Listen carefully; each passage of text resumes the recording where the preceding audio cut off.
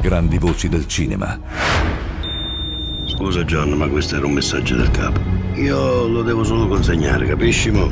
Antonio Gerardi, intanto io ho imparato un sacco di cose perché sei veramente un grande attore e la ricerca dell'eccellenza su ogni battuta, ogni parola, la- lo studio del personaggio mi ha fatto veramente imparare tanto, tanto di più.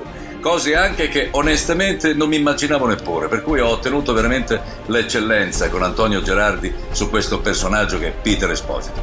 Senti, io posso soltanto dirti che sono onoratissimo di averti nel cast di Life. Benvenuto Antonio.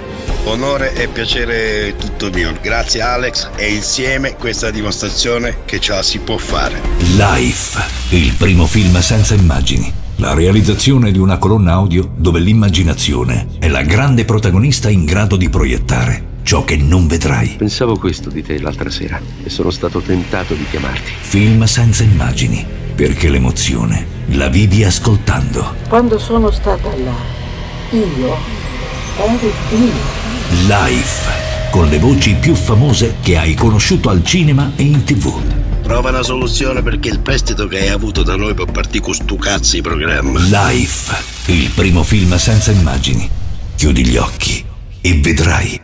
Filmsenzaimmagini.net